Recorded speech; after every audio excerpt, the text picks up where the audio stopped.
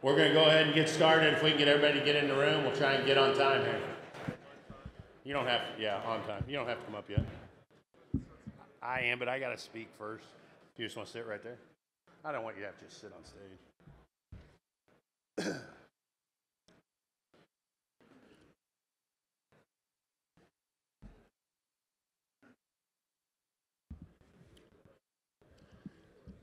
hey, Willis. Tom. You can be on this panel. But wait till we're, we'll just wait there with Carter. The people on the first panel, I'll uh, speak for a few minutes, just a couple minutes, and then we'll come on up. I didn't want you to have to sit up here and just be stared at, so we'll wait a couple minutes. I think we're about ready to roll.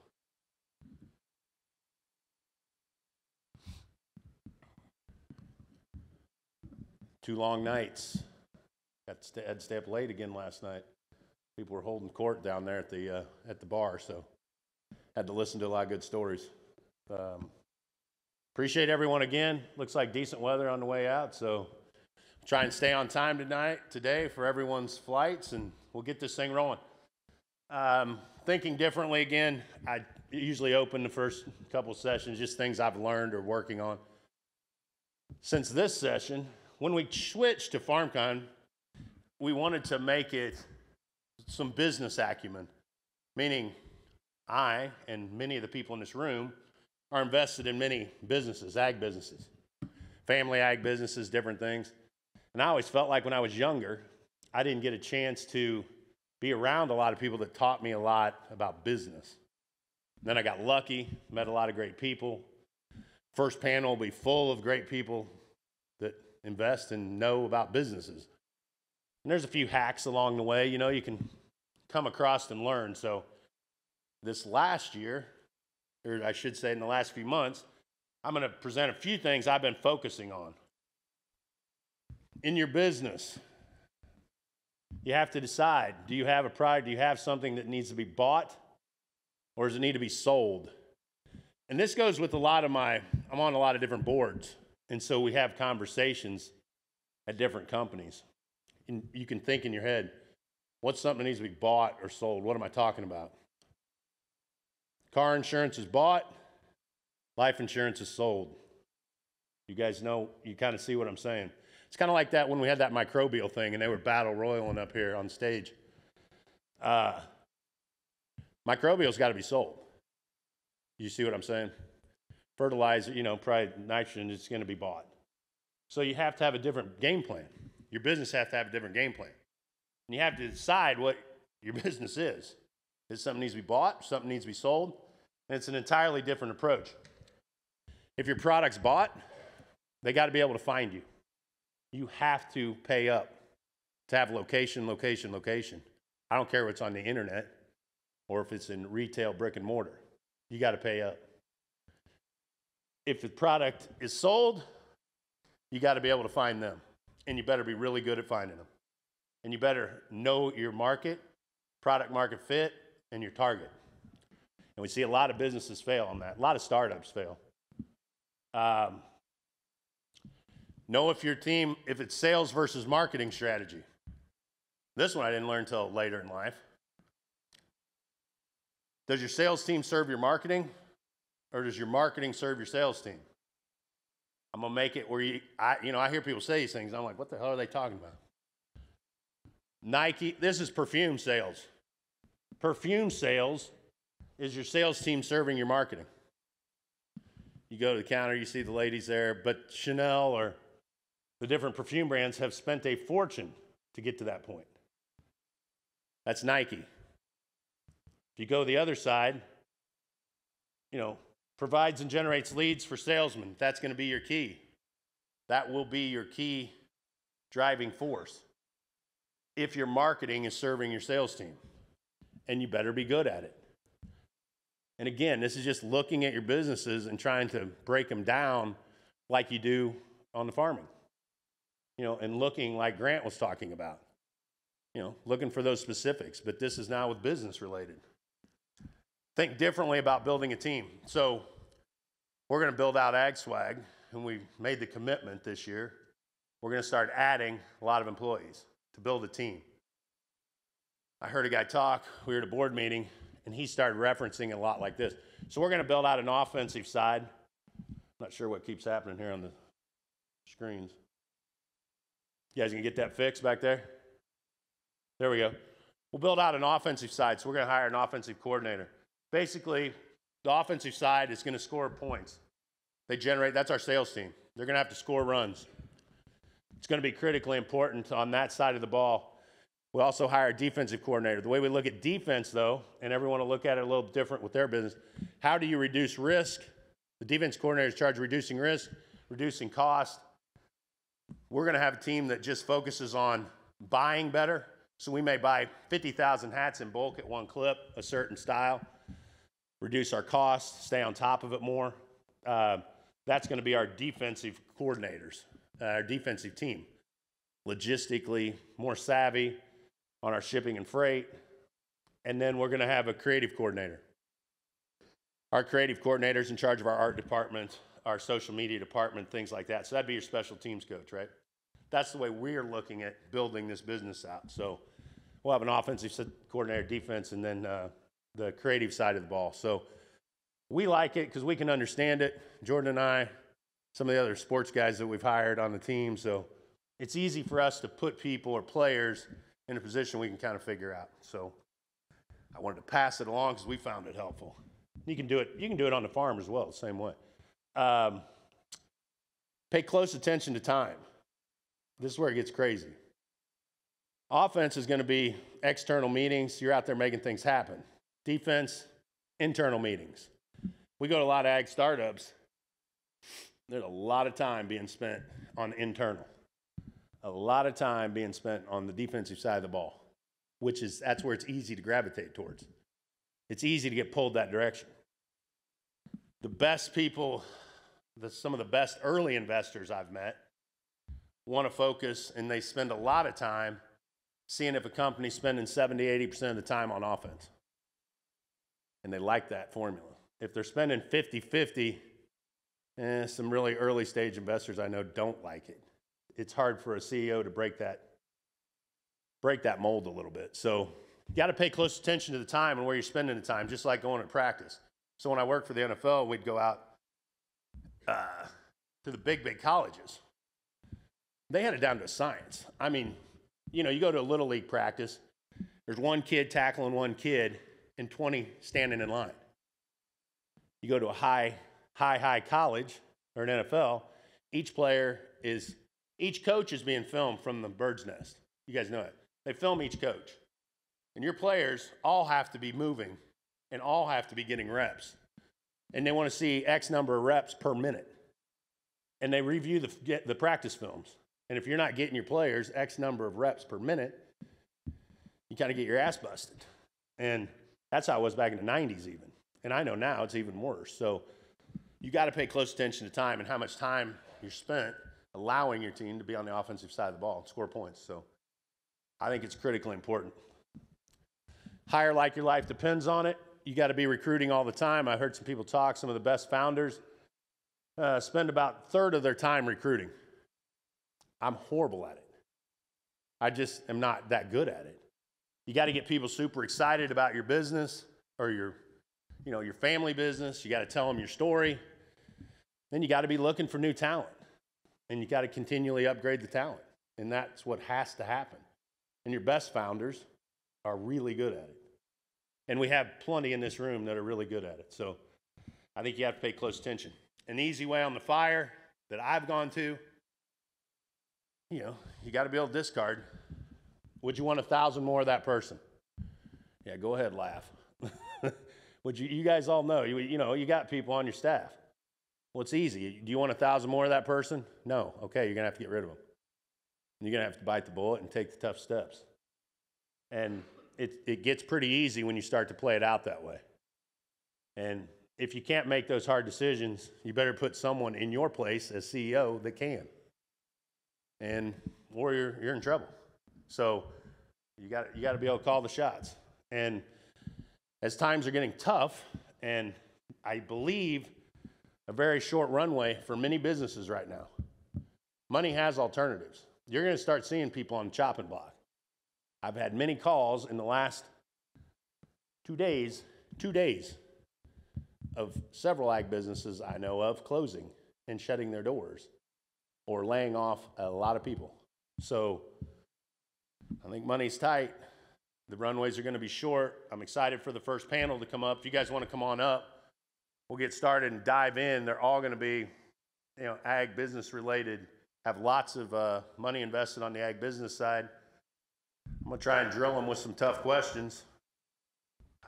Aha, Mr. Crisp. Tom, appreciate it. Yep, so we'll get this started. Here Soren. I didn't know what walk-up song you guys wanted, Caught up? so I left it caught kinda. up. All right. We yeah, should have good caught seeing up. you. Hey, buddy.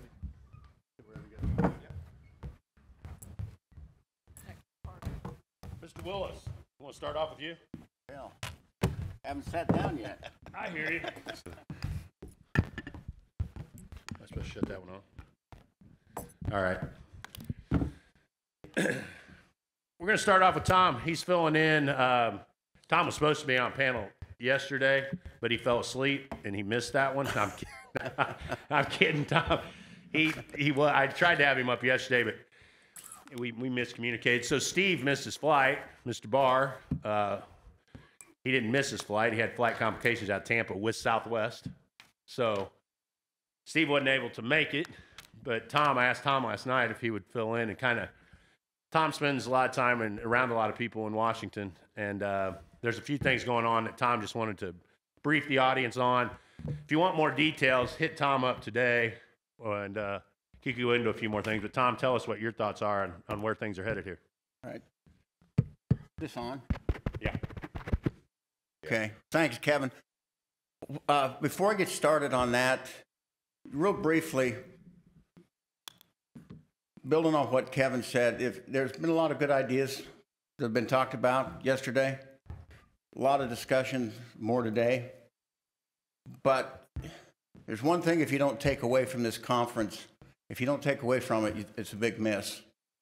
And Kevin, I want to go back to 12 years ago when this started, and there was 120 of us, and we had daylight donuts, and your wife and your sister busted their ass trying to serve barbecue, and the one speaker was Kevin. We listened to Kevin for six hours. That was hell. It was hell that day. Look what it's become today. And my point behind that, and, and Jordan, I don't think Jordan was even out of high school, was he? No, no, huh? No. Today, young man's running a $4 million, if I heard correctly, $4 million business. Why? Why the size of the room this way? Because Kevin and his family, or all of us, served a customer. They did it in a way that provided a need for all of us. All of us are here for separate reasons, different reasons but they provided that outlet through a service. Did they want to get paid and make some money? Sure, we all do. But if you don't take away from the fact that in business there's too many people that think it needs to be a win lose, that you're, uh, to me anyway, you're missing the big point. And Kevin, I, I want to applaud what you guys have done. I appreciate it, Tom, amazing. for sure. Amazing. So, real quickly, in the renewable space, there's a couple of things that I, I wanted to bring to everybody's attention. Um, now, many of you that don't know me, I kind of keep my political views close to my vest. Sure. It's really hard to know where I stand on, on politics. But this recent um, Inflation Reduction Act, probably one of the things that you have in common with, with Congress is that neither one of you have read it. Okay? But there are some key things here for agriculture that I, that I, I wanted to just take a second and go, go through with you. It's the largest piece of climate uh, legislation that's ever come through the, the, the pike. Number two, the view of carbon capture. 12 years ago, I was, or 10 years ago, I was with EPA, and we were trying to get a, a pathway, uh, get a D5 RIN. Now, I don't want to get too much inside baseball. And I said, California is going to allow us for sequestering CO2 uh, to count that towards our pathway into California on our ethanol. Before I got back to liberal Kansas, EPA had called California and said, What in the world are you doing? If you give Conestoga a pathway to be able to sequester CO2, you're going to give a lifeline to coal. And our goal is to kill the coal industry. 180 degrees on that today. Sequestering CO2 is vogue. I will tell you why here in just a second why it impacts you. Um, one thing to keep in mind, and again, it doesn't necessarily make sense, but it doesn't have to. Fertilizer production, um, 1% of the global emissions in the world. There is going to be a push, I don't know how economic it is, through this incentive, uh, inflation incentive bill to produce more fertilizer out of hydrogen and less using natural gas. It's going to be expensive, but in this bill, there's quite a bit of money that they're willing to throw to try to convert from natural gas based urea uh, or nitrogen. It's actually would be anhydrous ammonia is what it would create to a to a, a green based um, fertilizer. Second of all, the RFS that came out, proposals that are out there, for the first time has higher than 15 billion gallons of conventional blending.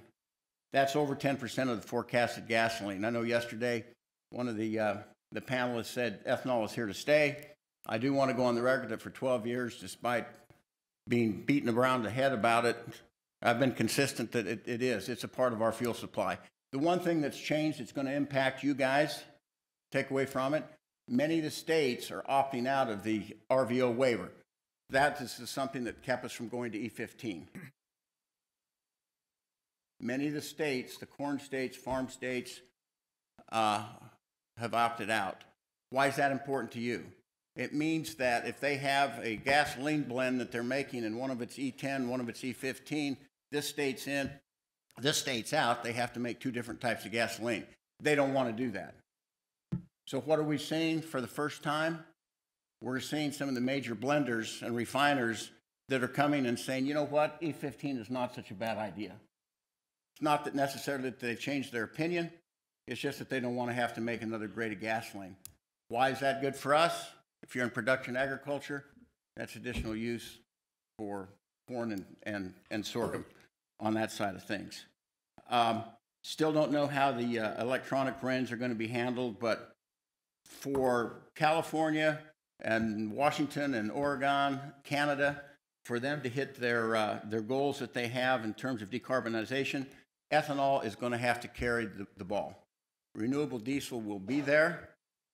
Uh, but one thing to keep in mind on that, you're looking at about a 25 or 30 cents a gallon difference between using corn oil to produce it and soy oil to produce it, corn being the advantage. When you produce renewable diesel, when it goes out, you have to tell people what it was made out of. So there's a 30 cent a gallon disadvantage there. A year ago at this meeting, carbon credits in California were 200 bucks a ton. Big incentive to want to build and go. Today, it's worth 65 to 70 dollars a ton. Something to keep an eye on. You got to watch that because these programs only work if they're incentivized by the government. That's the reality of it. um, lastly, and I think the thing that provides the biggest opportunity from an ethanol perspective, there is more money being thrown out there to sequester carbon to get a low, lower CI score. And I mean, when you look at what the government is willing to put out there, for the first time, uh, we are going to be judged and paid on the carbon intensity of our alcohol, of our ethanol. Okay?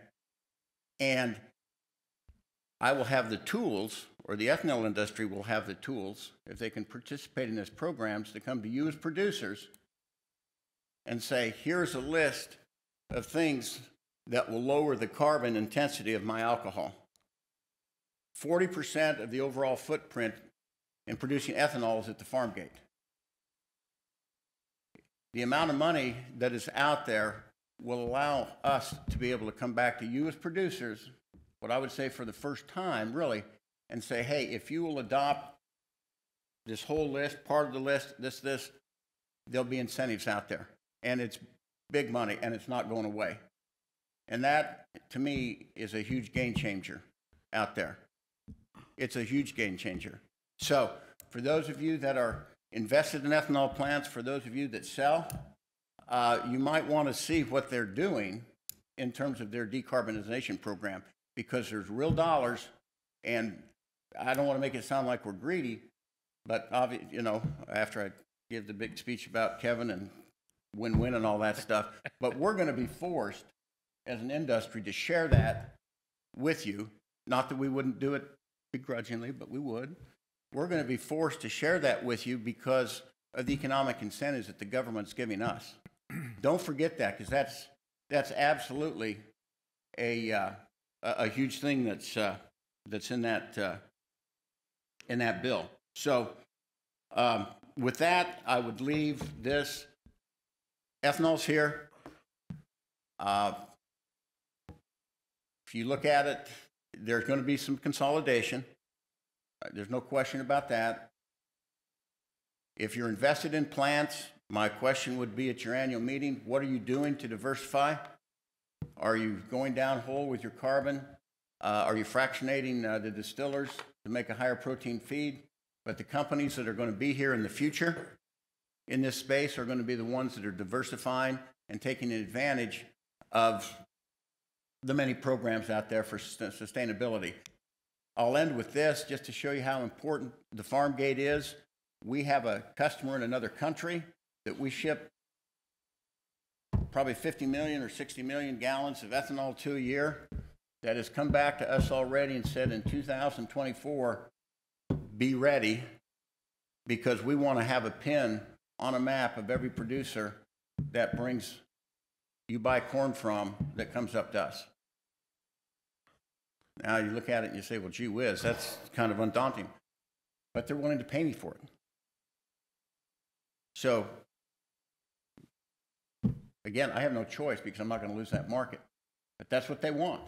They want a pin on a map of every farmer that's supplying us. You might not agree with it, but it's there. The opportunity for the farmer to be able to capture part of this value has never been greater than it is now. And I think, remember, Tom has farms, runs cattle. I mean, he's on the same page, correct, Tom? I mean, you're seeing Yeah. it out in your area, out in southwest Kansas, so.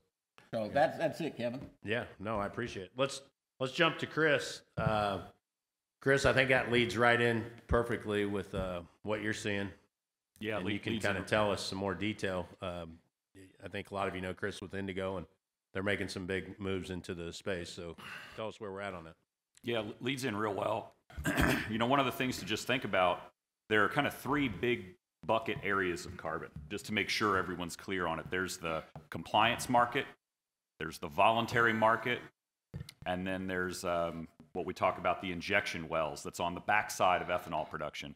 And I get a lot of questions and confusion about pipelines of carbon. Is that the same thing you're doing with Indigo? They're, they're different. So our approach in, in what we're doing with the voluntary carbon market is using soil carbon, your soils, slight changes in practices, and we're talking about um, altering fertilizer application times, types, the things you're already doing.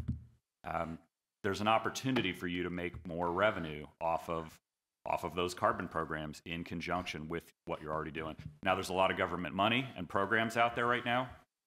One of the one of the warnings or things to think about there is if you are about to go into one of those programs, make sure you're in a carbon program in that same year that you start. It's critical. Otherwise, you use up your eligibility and you miss out on the carbon programs. Those carbon programs, voluntary programs, things like Indigo, pay out over 10 years. But if you go in and say you've never done a cover crop, you're going to add a cover crop this year because there's government dollars there for you. Go get the government dollars, absolutely. But make sure you're also in a carbon program where you're leaving that carbon dollars on the table over the next 10 years.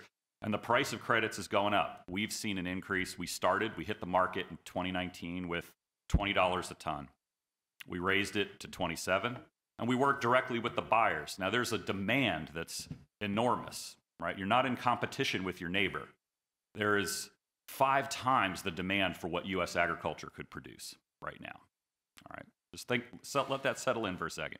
It carbon is a crop that you don't have to deliver. You're not in competition with your neighbor over it, and there's a demand that's much larger than you can possibly supply. All right, so there's an opportunity for everyone in it. We started at 20, raised the price to 27, raised the price to 40, raised the price even higher than that now in the discussions we're having. Look at Bloomberg, other sources, they're talking about 150 to $200 a ton for voluntary carbon. The, what I mean by voluntary is these are companies, Fortune 500 companies who we're working with, who have voluntarily told the public through their boards and through announcements that they were going to achieve a net zero target, where they were going to try to remove all the carbon from their supply chains.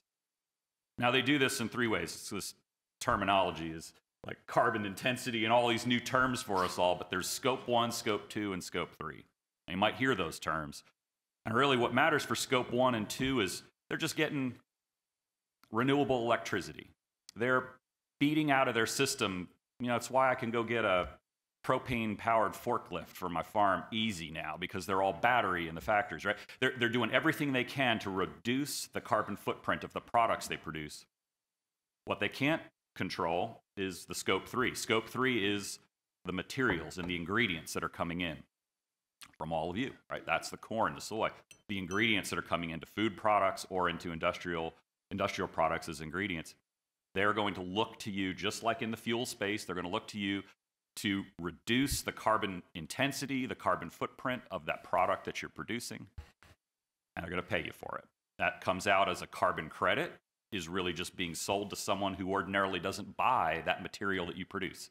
Think of an airline, right? They're selling airline tickets, they're burning jet fuel. There's no replacement for a jet right now. There's no electric jets. There's nothing on the horizon even that could replace that form. So they're going to continue to burn either fossil fuels or renewable, sustainable aviation fuels coming into the mix.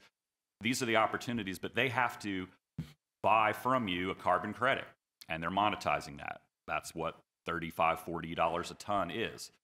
On the other side of it, if you're in the, in the supply chain and you've been like a Kellogg's or an Anheuser-Busch or a group who's already buying agricultural products, they're looking to reduce the footprint of that in scope three coming into their operations. So we're able to uh, work with them as well. And all of this requires two things from you. It requires you to make some type of change on your farm and document it. That's what has to happen in the first year. But that's only half of the value. The other half of the value comes from that change sticking around. If that change is undone in that year or in the next year, you end up in a situation where um, its value decreases dramatically, and then the value that you would be paid uh, decreases dra- dramatically. So there's there's this need to come in and make the change, stick with the change, stick with a program, but it's the record keeping piece that is a big part of the software and other things that we're all working on is how do you have the pin on the map to know where your farm is? How do you know what was produced where and what went into it to show those buyers that it had a reduced footprint? If it does there's more dollars in it for you. So all these things can be summed up as financial opportunities for the farm. And i'm not selling you a carbon program. I'm asking you to produce carbon for us. We found the buyers. There's more than enough, and their price is going up. Figure out how to be good at carbon farming one way or the other, whether it's a compliance market, a voluntary market, or whether you're, um, as an operator of an ethanol facility, thinking about shoving it in a pipeline and injecting it deep. All those are good for the atmosphere. Right? The whole goal here is society has said we're going to decrease the loading of carbon dioxide to the atmosphere. This is the way we do it, and this is the way agriculture can do it. And that's our, our fit. Where, where Indigo plays in this is where that scientific group in the middle that proves that this invisible gas of carbon is pulled out of the atmosphere with plants and with the, uh, the wonderful photosynthesis that happens in agriculture. It's pulled out of the air, it's shoved into the ground. We're proving that that actually happens to buyers so that you can get compensated the max possible. We share in that economics, so we're looking to make sure it's as um, beneficial to you as possible. Right? So we're looking to help you capture the most carbon per acre possible, whether that's actually through the practice changes, the different things you're doing, or whether it's the quality of the science and the scale of our program that allows us to reduce all the uh, uncertainties and things around that that help you get paid the most. That's where this all fits together for me, and um, thanks for having me. Kevin. Yeah, I appreciate it, Chris. I know we all have a ton of questions. I've got more questions than answers on the carbon side always, it seems like. So Chris will be around, won't you, Chris, if they've got questions? Yeah, absolutely, For, absolutely. for you specifically. Uh, Mary Shelman, let's talk about what we're seeing consumer trends and changes that you're seeing. Remember, Mary had a farm, she has a farm in uh, Kentucky. Nice new uh, cabin up in uh, Smoky Mountains, I hear, and spending a bunch of time up there. And so I always love hearing Mary's perspective. And you guys know she was at Harvard uh, running their agribusiness program. So tell us some things you're seeing, Mary. Thanks, Kevin. And yeah, my the, the new house is actually up in the White Mountains of New Hampshire, which has been warmer than some of the, the mountains in Kentucky. So, uh, you know, kind of brings us back to some of the things we've been saying. So basically for the last, you know, 10, 12 years, I've been talking about four big trends that have been driving change.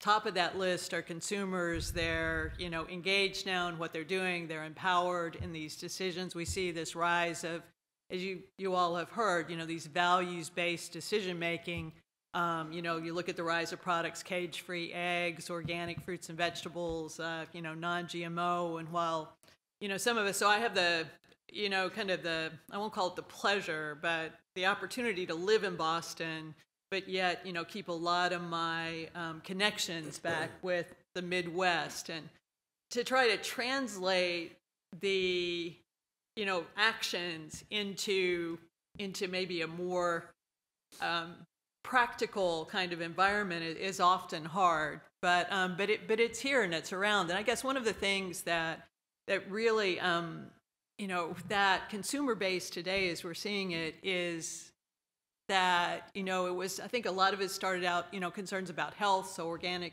you know drivers with health concern about the environment. But today that kind of what's on top of my mind so 70% of young people in the world, like 17 to 25, suffer from something called eco anxiety. They're so concerned about climate change and, you know, that the, the world is going to be like in a horrible situation in the future, that they're suffering from mental health issues, um, they're depressed, they're um, anxious, and they just don't see any positive future for the world. You know, this is causing changes in actions. You know, one in four of them are saying they're not going to have kids because they don't want to bring children into this world that's going to be in a terrible shape. Um, and that drives back, of course, into into buying decisions. So we can say, oh yeah, these values-based, you know, decisions. You know, we've got this inflationary environment now. Folks are going to pull back from that because you know they're not going to have you know jobs or as much income. But this is really a fundamental change that's going on over time and I think it's here to stay for sure. Kind of leads into that second big trend, which is around sustainability. How, you know, over the past 10 or 12 years, that's something that's gone from what was a fad to something that's very, very fundamental now to doing business. So, you know, like indigo, ethanol, um, all of the, these opportunities, you know, these corporates are making these big, big, big commitments in this space, um, these ESG kind of commitments. They don't know how they're going to get there because 70% in terms of food products, you know, of the impact is actually in your control, not in their control. And so that's leading to some, some you know, some very creative um, opportunities, tensions, but again, not, not going away, probably getting um, even, you know, greater around that to satisfy the consumers that are out there, but also to um, you know, to satisfy the investor community and the lender community, which is looking at this as potentially a food security issue as well. And then kind of the enablers driving change in this space are on the tech and the investment side. So we see these transformational technologies all across the supply chain. I know they come knocking at your doors every single day. I had a conversation yesterday morning, you know, how do you actually decide, you know, what you're going to try, what you're going to do. It's like, well, you know, we really don't know. This is uh, tough. You know, do we like this person? Do we trust them? Are they authentic? Is there is there data? Um, and then, but they, yet you look on beyond that, and the investments that have been basically flowing into this space like a fire hose, um, trying to you know, saying, hey, there's an opportunity here, there's some challenges, we think that we can drive change, you know, faster that might be drying up some now um, as their money alternatives look differently. But, um, but so we look at kind of four different pathways that we've identified moving towards a more sustainable food system, which is something that we would all say that we need, given that we have finite resources and that we will have growing demand. The first one is what we heard a lot about yesterday. We have to do more with less. So basically, let's keep doing the same thing. Let's, you know, but we're just going to do it better and better. And we call that, you know, defend. Like what we're doing is is great. We know we made great progress over the years, and we're going to take that forward. And then there's a group of companies out there that are actually saying, hey, wait a minute, consumers, there's this group of consumers that are willing to pay more for something. Let's develop products that are very specific for them. So, you know, maybe some of you grow organic, some of you, you know, handle non GMOs on your farm, some do specialty crops. So that's a, you know, we're going to do a little bit more and we're going to differentiate and be able to charge a little bit more for that probably. But then we have these two other camps that are out there. And one um, we call Defy, and that's basically the folks that want to change what people eat. So no longer, you know, is it about, you know, should, shouldn't consume, you know, beef, you should consume less dairy. All of these things have big impacts. And so you see the rise of the plant-based proteins um, and, uh, you know, insects, uh, you know, different kinds of peas, you know, things that, that you know, to, to get folks to do. And um, you see some success in this space. I know that a lot of it right now, you know, see the um, results from, you know, companies like Impossible and Beyond with their plant-based burgers. And it's like, oh, yeah, this is dead, right? It's going away. I don't think that's where the battle's going to be played out. If you look at some of the food service companies in the U.S., they have their own objectives to increase the um, or actually to reduce the amount of meals that they serve with an animal protein in it. And so those targets, you know, up now there's like, yeah, we, you know, we're up to 11% of meals that we serve that don't have plant, you know, that don't have animal protein in it. We want to take that up to 15. We want to take that up to 20. So this battle's not being played out at the retail, you know, at your supermarket, whether you choose to buy a, you know, a beef hamburger or a Beyond Burger it's being played out in you know hospitals and schools and your food service you know institutions that that get served there. So don't count those out yet. Fourth area that you know we, we kind of starting to hear a lot about are ones that are more disruptive approaches. So cultivated meats uh, precision fermentation to produce dairy proteins and other proteins that are there. Might think well that's kind of crazy but if you go to singapore now you can buy cultivated chicken on the market or in in a, a, convenience store, in restaurants. It's approved. It's on the menu. See tremendous investments going in that. I think that's a long way out. But if you go to the supermarket in my hometown in Elizabethtown, Kentucky, you can buy in the um, the ice cream section a product called Brave Robot, and it is tastes just like Haagen Dazs, but it's an animal-free product. There is a, um, a, a whey in there that is produced through precision fermentation that is genetically equivalent to whey from animals. And so these products are there. You may not even notice, but they are drop in replacements for this. Um, so these products are coming. They're not that far away. There's still some cost issues to work out. There's certainly a lot of capital issues in terms of scaling up that production.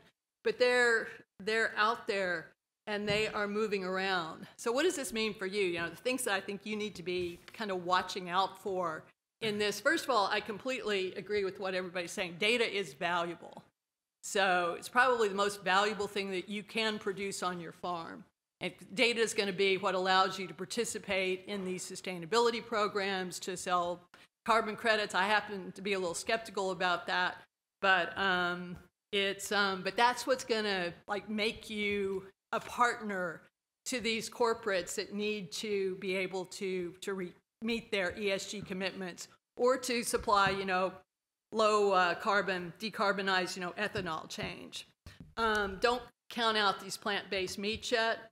Just as a reminder, plant-based dairy right now, so plant-based milks are 14% of the U.S. milk market, um, consumed by 40% of U.S. households. So these things can get in. It doesn't mean that, you know, it's this flexitarian approach. Um, the the interesting thing that, though about these products like these, you know, making a specific dairy protein or a specific cut of meat, it changes the economics of the entire industry. So if you think about, you know, a beef carcass, if you pull out one piece of that carcass, the economics of the animal can collapse. So, you know, kind of keep your eye on that. The same thing with dairy. You pull out a valuable dairy component out of milk. What is happens to the rest of those products that are in there? Um, watch out for what governments around the world, particularly in Asia, are doing. Singapore has a, pro- a program called 30 by 30. They want to be produce 30% of their own food by 2030. And they're an island, they have no land base. So, how do you do that? You do things like aquaculture, you do things like cultivated meat and alternative proteins, you do things like indoor farming. Um, this is driven by food security concerns, but there's lots of investment in technology that's going on there that will have a spillover effect um, around that. So, you know, watch where those government supports are. Uh, my biggest concern in the space um, that keeps me up at night long term is um, license to operate.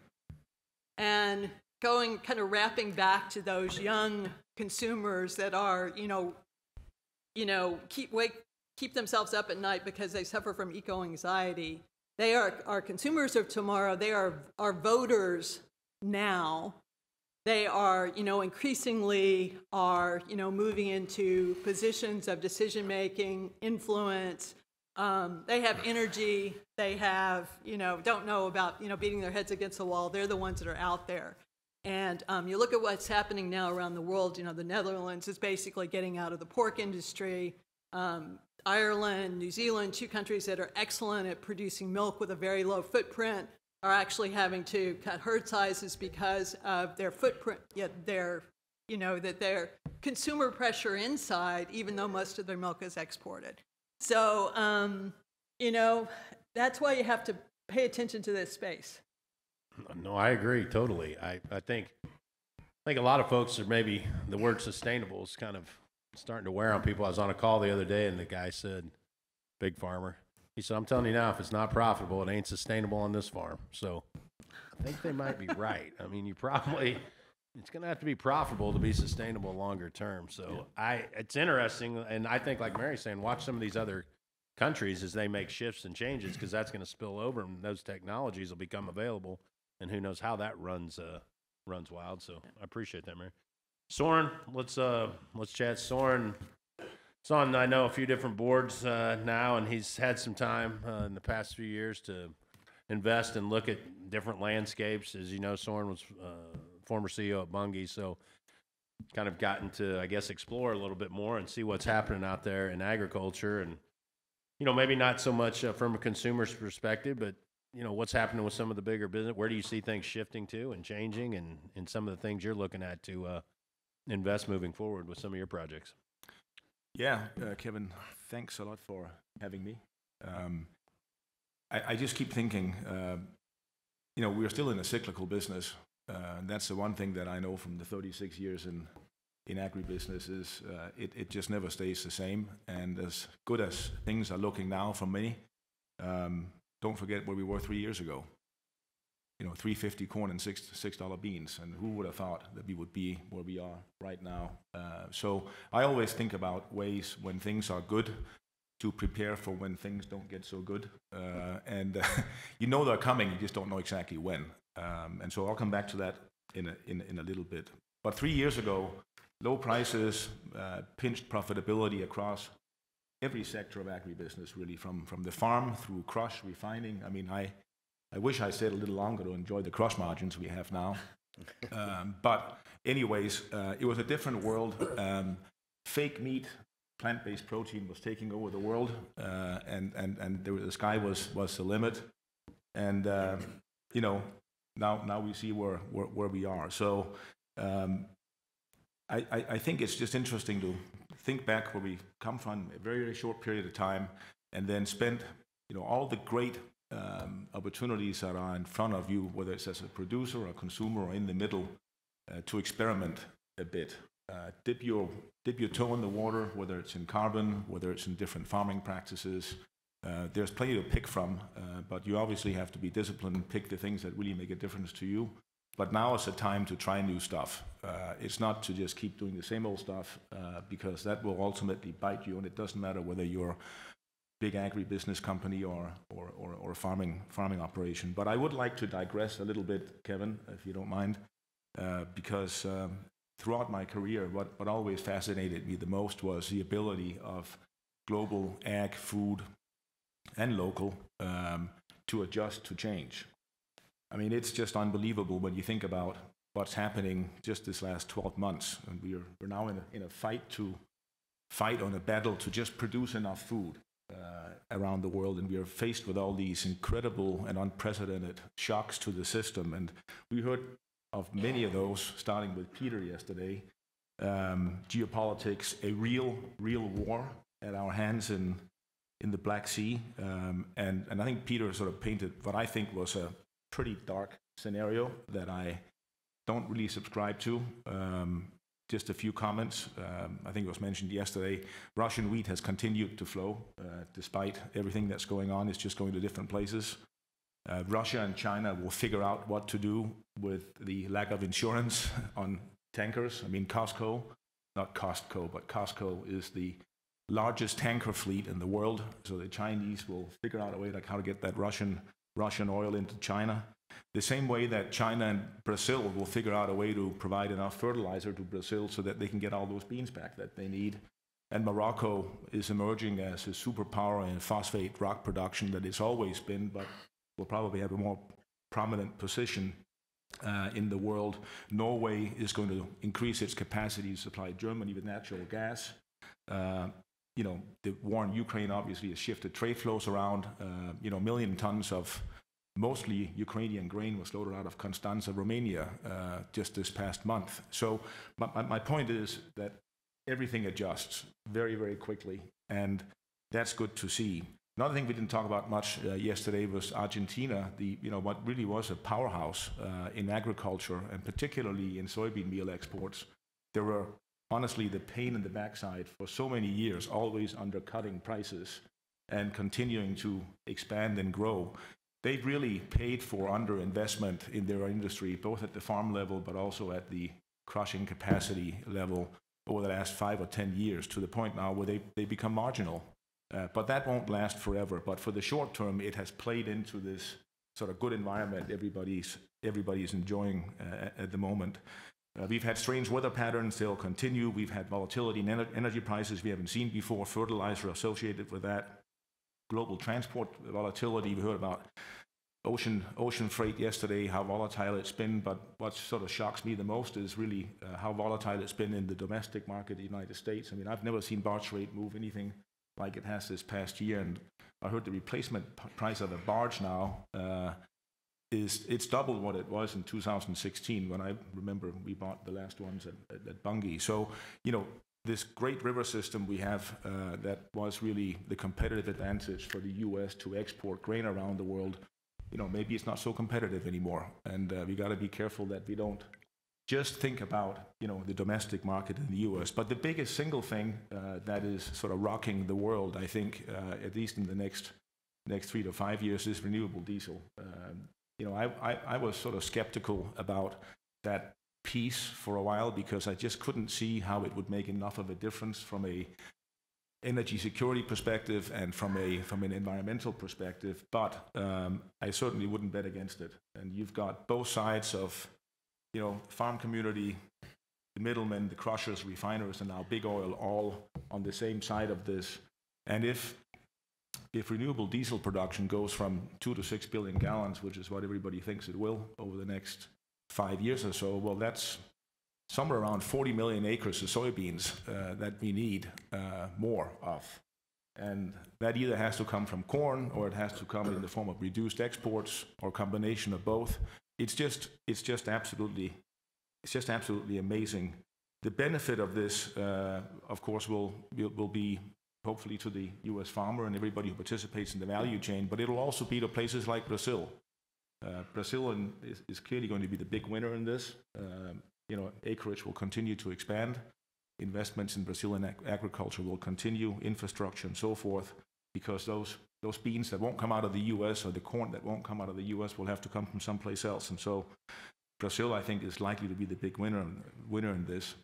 On top of all this, uh, we've got inflation, we've got interest rates, foreign exchange moves that we haven't seen for a long time uh, happening now on a daily basis, and then all the environmental demands that, that, that we've just talked about. My, my point is, this is a soup of highly volatile stuff um, that you all have to navigate through on a daily basis, and I don't, I don't know many people who can put it all together, frankly, and draw a conclusion as well as, as you can, Kevin. I have to give you that credit. Uh, but you're all, I mean, you, you all have to find somebody you trust uh, to help you navigate this. There's, there's just not enough time in the day or enough smart people who can do all this on their own and run and run a complicated operation on, on, on top of this.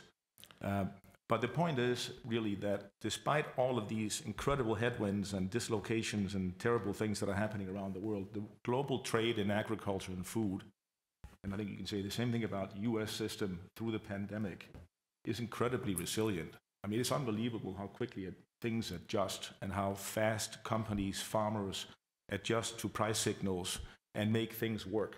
Um, I think if you had thrown all this out on a board three years ago or two years, even last year, and said this is going to happen, I think we would have all guessed a different outcome. Uh, the fact is that you know the system still works quite well, and, and most people uh, have access to reasonably affordable food. In this environment, I think it's uh, pretty, it, it, it, sort of, to me, feels like a lot of the underlying trends that had started maybe a few years ago, such as different types of food products, whether it's alternative protein, fake meat, call it whatever you want, um, or uh, different types of ingredients, different ways of consuming, uh, and maybe even some of the environmental stuff, it kind of gets drowned out in all this sort of immediate big stuff and big profitability that's that's in front of us. Um, and so, you know, to me, the the, the biggest opportunities uh, near term, while all these underlying trends continue, is going to be everything that has to do with. I think it's been said so many times over the last couple of days, producing more or the same with less. So whether it's ultra precision uh, farming practices, whether it is you know much more understanding, deeper understanding of soil health, backed up with data and measurements and biologicals in whatever shape to help accelerate the process to improve soil health that will allow you to take out traditional fertilizers and maybe even pesticides and herbicides and, and still produce a good crop. I mean, that's to me where the big opportunity is. Uh, it, it's uh, all the other things will will be important, but they'll take they'll take they'll take a lot longer to become really meaningful. Uh, so, you know, I, I, I love the discussion yesterday, the panel that sort of went went very deep on biologicals, but I, you know, and I'm not an expert in it, but I, I, I'm, I'm and I'm sure that for each farm there's a there's a unique mix of practices that's that suit you, but uh, that's that's where I would be spending a lot of my time right now. Another thing um, I, would say is is there's got to be some way of also uh, diversi diversifying income streams um, at the farm by producing some something slightly different. Uh, so one of the things that that, that that that I thought about in light of the renewable diesel and this sort of insatiable demand for vegetable oil is you know how can we produce more oil-bearing seeds or oil or oil seeds that have more oil in them uh, and, and soybeans is not necessarily the best choice if you if you want to think about it but you know, we do have varieties of even corn that have high oil. Uh, Tom Willis, I don't know whether you have a view on this or not, but I remember 20 years ago, uh, maybe even a little bit more, we were growing high oil corn uh, for feed. So, you know, it was corn that had, I think, 6% oil or 7% oil as opposed to 3 And that you could translate into, you know, a feed value uh, that you would then share along the value chain. But I mean, think about the fact if you can grow corn that has I don't know, seven, eight. I think I've even heard about corn varieties that could have up to 9% oil in them, and you could squeeze that out in the process. Um, you know, that's a, over the ethanol capacity that's installed and has oil extraction capacity or is coming on, that's a phenomenal amount of you know, highly valuable oil uh, that the industry needs. You can say the same thing for soybeans. I mean, why, why, why can't we figure out a way to produce soybeans that have 20% or 21% oil in them, um, even if it is at a slight yield loss? You know, every percentage point is worth 15 bucks a ton.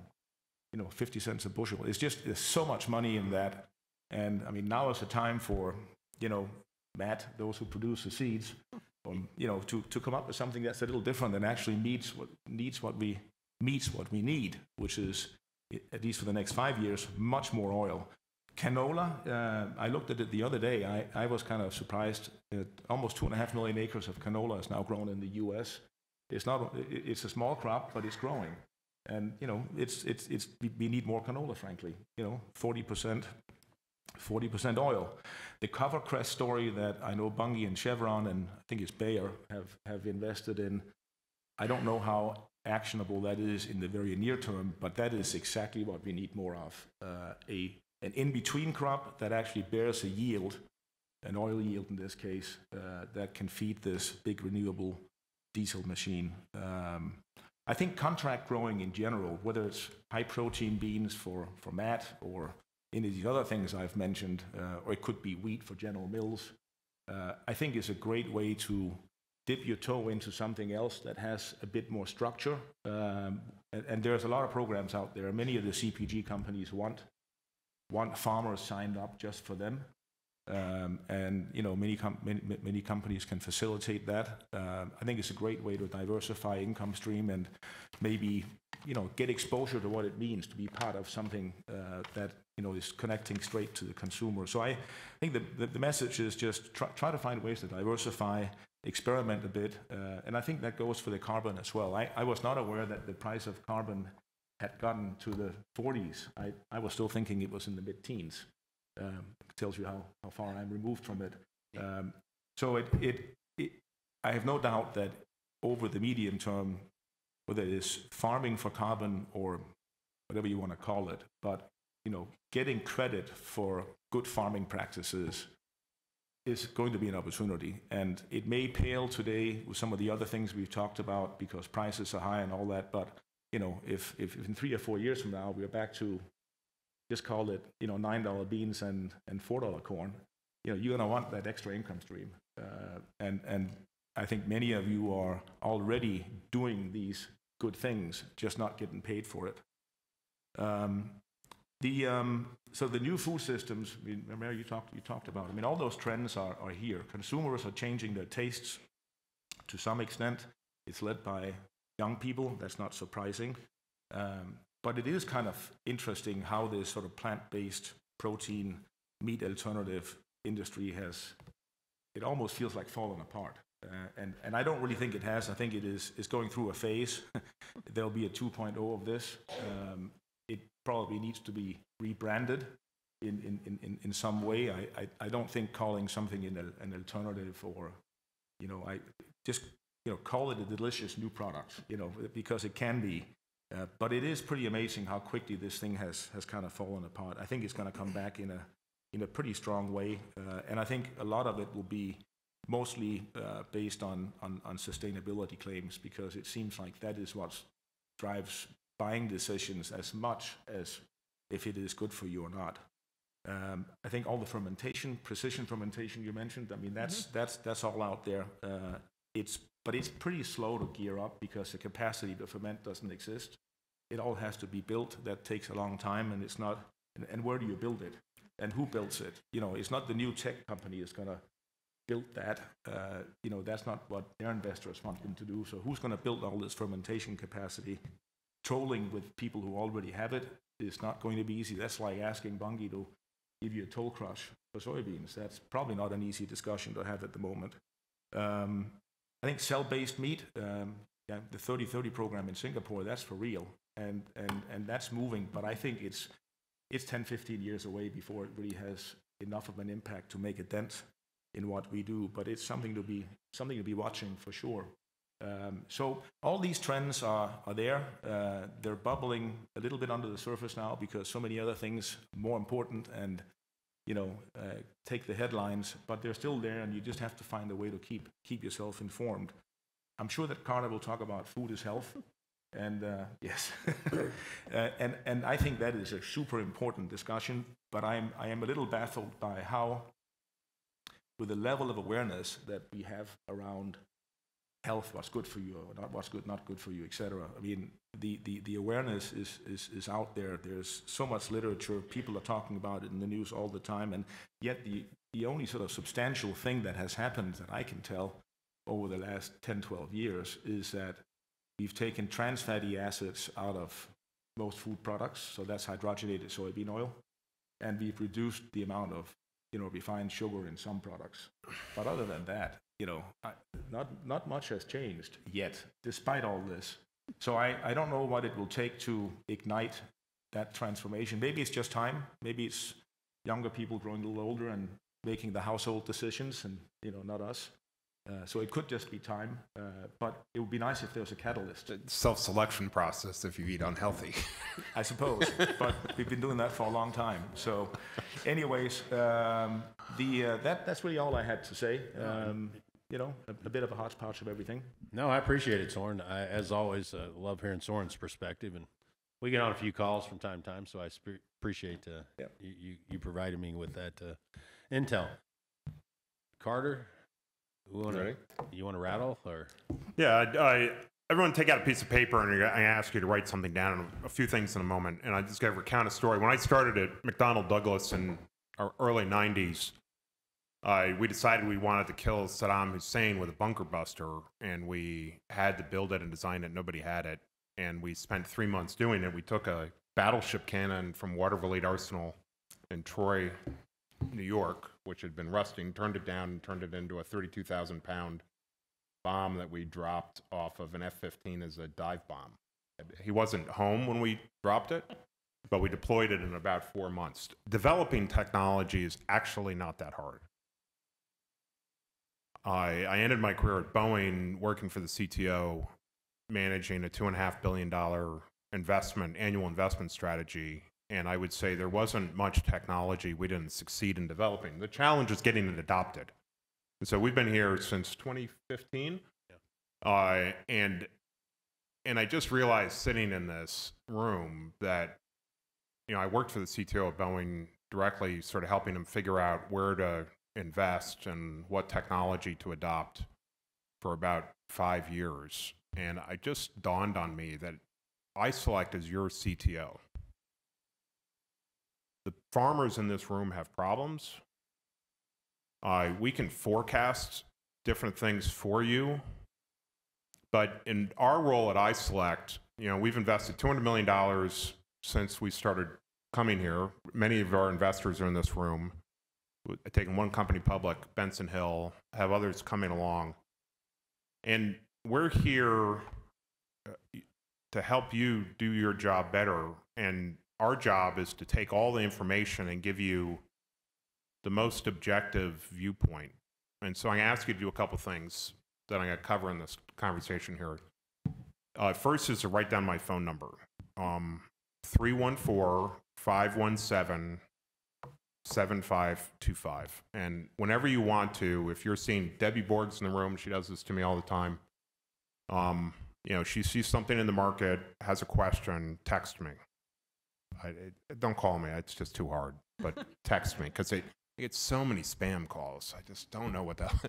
Feel free to text me at any time. you're saying a new idea, Carter, or some What? new technology they see out in the field, or something they want you to look Anything, at? you're seeing a problem, you're like, I can't figure out what's happening with this carbon stuff. I can't figure out what to do about biologics. And I will do my best to make sure someone on our team or our companies, we've got 65 portfolio companies, will connect you. The other I would suggest is there's a lot coming down in AI. We've just done three videos on this. Go to the uh, YouTube channel for iSelect, subscribe to it, and watch the last few videos that we did right around Christmas time on GPT.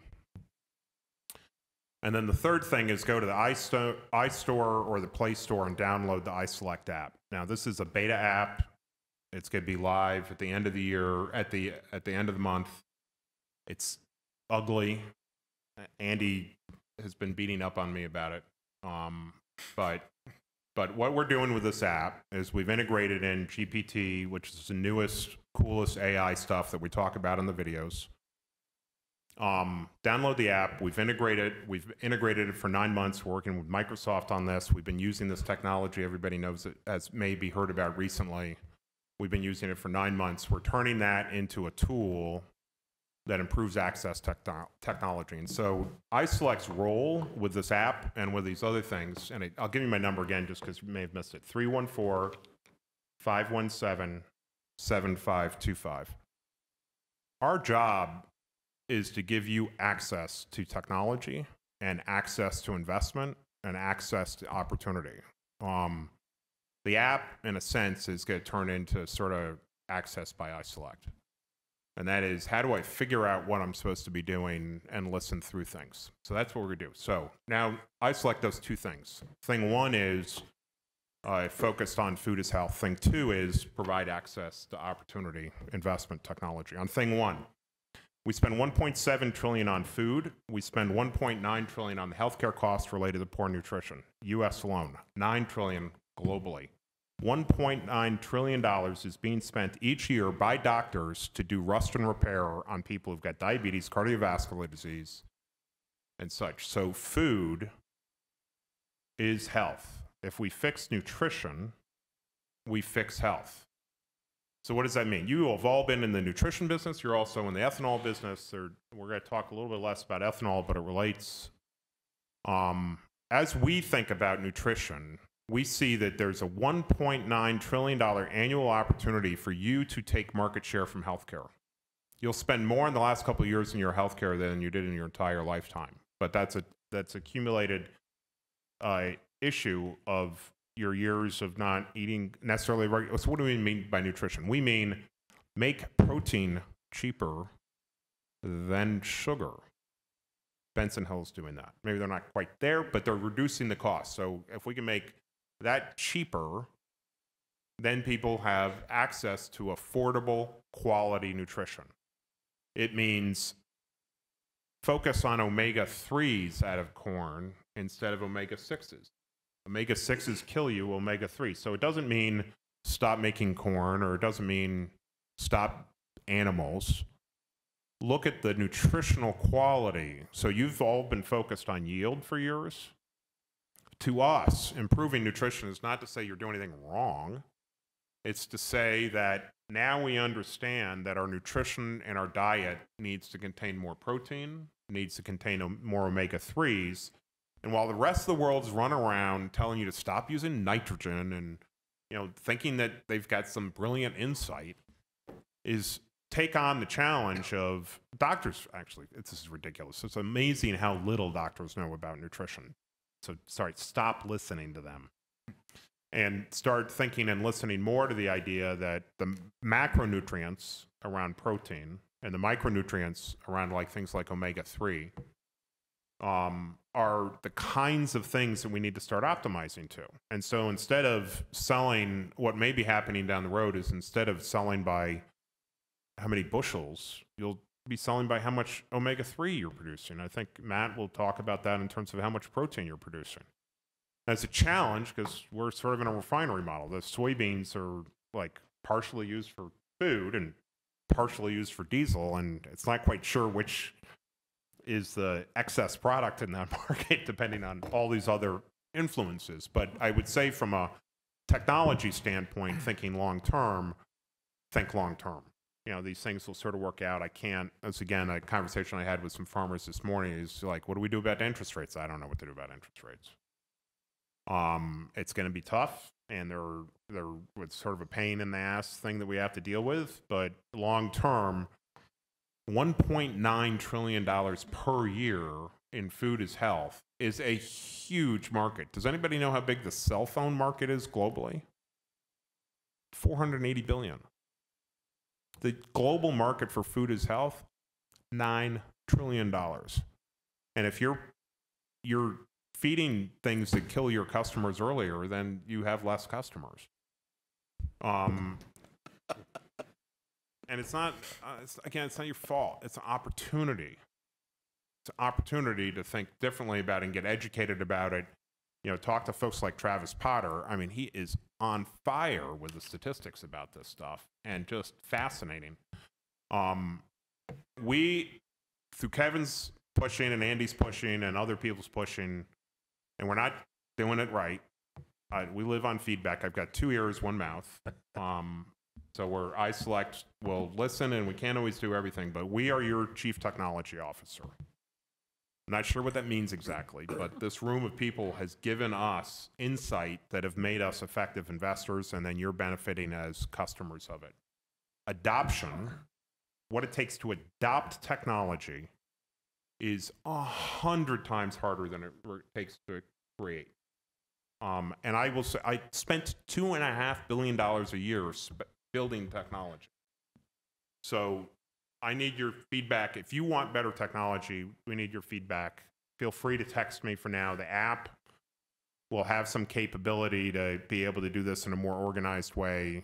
My phone number is uh, 314 517 You running for office down there? Listen to him go. um, Eva's here back. We've got Booth back here. Eva uh, leads our marketing team and our community team and can sort of help you figure some things out if some things are challenging. So the last thing, do you want me to announce what we're doing? Or do you want me to shut up? Yeah, shut up. That's good. Okay. good thing we're friends. Now, anyway, we've been busting Carter's ass a little bit. Andy A and little I. bit. We're, listen to him a little bit. So we're all invested. You in we go to dinner. I like paying for dinner partially. Yeah, for he dinner. was. Get the shit just- kicked out of me at dinner.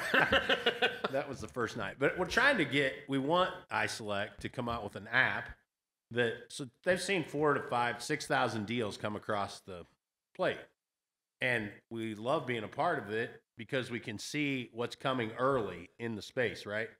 They invest money in early ag tech startups. So I want to be able to see what's coming down the pipe. That gives me an advantage to relay to you guys and our own operations and things I'm invested in gives me an inside advantage. I want Carter to put it on an app like Rally or Collectible or some other app that's out there where we can just flick through and see the new businesses as they're coming online, you know, and we just flick through, oh, let's invest five grand in that one. Oh, well, I don't like that one, but maybe I want to use that one on the farm. Or maybe I want to call to buy the product. I'm not sure I want to invest in it, but I want to be able to see what the companies are and just their their input and what what happened originally to let everyone know in the in the audience. Andy would get millions of crazy harebrained people coming to him wanting to use his money to do you know to do a business.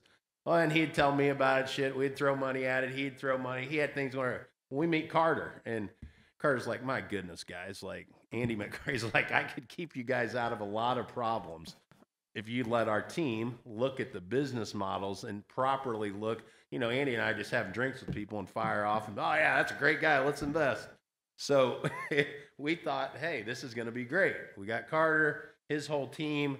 They can really analyze businesses, dig deeper in, and keep us from investing in stupid stuff, which we still do invest in stupid stuff, but it has helped. And Carter's team provides just awesome, you know, research and information that we could all use. And I would just love to have all of us have better access to seeing what's new coming down the pipe. Like early, early with Benson Hill or early with Yeah. whatever it may be, Geltor, the other companies that are going to be big, uh, just because it gives you an advantage to see, like you're saying, Carl, like you get an So the- advantage. to, Uh, Just one point of sensitivity. The app's in beta. By the 24th, we're going to have the final out, and we're going to. You, you've asked for the ability for all these people to be able to invest just like you Yeah. are through iSelect, and we're going to provide that capability so that you also can invest. That'll be on the 24th, around the 24th when we formally release. yeah. He showed us the app last it night. We told him it looked horrible. So if you see it, don't, you know, give him a little break on it. He, they're trying. they're moving the right direction. Let's, uh, Matt, Yes, sir. Mr. Crisp, my friend Matthew. What uh, I think Soren and Carter kind of teed it up there for you on, uh, you know, where things are going on the seed side and the food side. I know you guys have a lot in the hopper. Uh, a lot of us are invested, and you know, kind of tell us what uh, what you're seeing. Yeah, I mean, well, I'd say, um, you know, Soren's comment hits it right on the head. Uh, we produce a commodity product today, and I think tomorrow, a way for the U.S. farmer to differentiate is to produce a premium product. And high oil is a, a concept. Uh, high protein is one that we've brought to life and that we're taking to market. low anti-nutrients, uh, which is good for certain target markets. Uh, high oleic, low linolenic soy oil, another quality trait that some of you are familiar with. Um, and even stacking those together. So we we even uh, work with some of our farmer partners. Many of them are here uh, on on dual premium value streams where you have a high oleic oil stacked with, let's say, a high high protein, low anti nutrient uh, uh, meal, or what can turn into white flake or a flour or a concentrate, and and and we're taking a bean that has got the breeding behind it and the technology behind it to create more value downstream beyond the farm gate. And that's really the role that Benson Hill is playing is saying, how do I take a terrific amount of value for a, a large variety of end markets, by the way, and move that back to the farm and, and allow the farmer to participate in a way that the commodity system really doesn't doesn't allow today. And uh, I want to, I do want to clarify. There's there's some semantics that some of us hear, and it triggers for instance, we hear plant based protein, and then some people, myself included, think automatically uh, plant based alternative, like a plant based chicken nugget or a plant based burger. What I'd really like to help everybody appreciate is when we say plant based protein, remember that that's a market that's a thousand times larger than plant based alternatives. Plant based alternatives, interesting space some can say um, huge potential, you know, but extremely still niche. And and to Mary's, it's bumping around. There's some areas of adoption. I think that the model's going through uh, a relaxation off of what was a hype cycle that we probably saw over the last couple three years. Um, so that's an area of, of interest, but that's that's a, a minuscule amount of where Benson Hill moves high protein, uh, beans uh, into. Now, one case study, because it actually plays off of some of the commentary also made from a carbon perspective, is uh, is the aquaculture market. I gave an example to some folks about this yesterday, so apologize if it's redundant. But when you take a bean and you produce protein at a high enough level where you don't have to go concentrate it further to supply, and in this case, the Norwegian salmon market, where, by the way, half of the world's salmon is produced, you can actually create a product that disintermediates that entire processing step. And that might not sound like a big deal, but the reason why it is a big deal is because that concentration step is the most energy intensive, water intensive step in the entire supply chain. So when you have folks in the EU, where by the way, carbon is over $100 a ton, uh, and who are being told not just by their customers, but also by the government that they need to adopt more sustainable methods in their supply chain. And you say, you know, Mr. Uh, salmon producer, uh, rather than buy Brazilian non GMO concentrate, why don't you buy US grown, high, uh, I'm sorry, a high protein, low anti nutrient meal from Benson Hill, which behaves like a concentrate. But oh, by the way, it has 89% less carbon footprint and 70% less water usage. It becomes a no brainer. And I can sell it to that guy for the same price or a better price than he's buying the other product because that, that concentration step also just happens to be the most expensive part of that entire supply chain. So we're doing this right now, and some of you in the room are growing product to do that. I only give that as a case study there's 14 submarkets within the plant-based uh, protein category within human food. Uh, we've obviously got oil, which is moving into CPGs, grocery, uh, food service. These are all opportunities to help the U.S. farmer differentiate their production and for us to figure out a way, as we're doing now in practice at scale, to bring value back to the farm, more profitability per acre. Uh, so we have crush plants in Iowa and Indiana. We're vertically integrated. We signed a massive partnership with ADM last year, uh, and we work uh, in Illinois around their Decatur plant. Uh, so we're contracting acres. Many of you, I hope, have seen the booth outside. We're open for business. We're growing at an extraordinary rate. Two years, three years ago, 30,000 acres. Two years ago, 70,000 acres. Last year, over 100,000 acres of contracted production. And this year, our goal is to double that. So we are growing at a rate where there's a terrific amount of opportunity. There's a lot of uh, genetic varieties, you know, spanning from the one twos all the way down to the four fours. Uh, you know, so the right in the heart of, of, of a lot of where you all sit. And um, you know, we're eager to have a conversation with you if you're interested in, in where we think the food system is headed. Perfect. And many of you know we were early investors in Benson, and many of us in the room have thousands of shares. So, Matt, I knew he was going to ask me this question. Matt, Three million. Matt, you there? Matt, anyone home? A few Let's, million. uh, let's got a few talk, million uh, shares. Three. Yeah, Matt's got a few minutes. Every day I get a report of insider buying, right? The CEO buys, the CFO buys of whatever.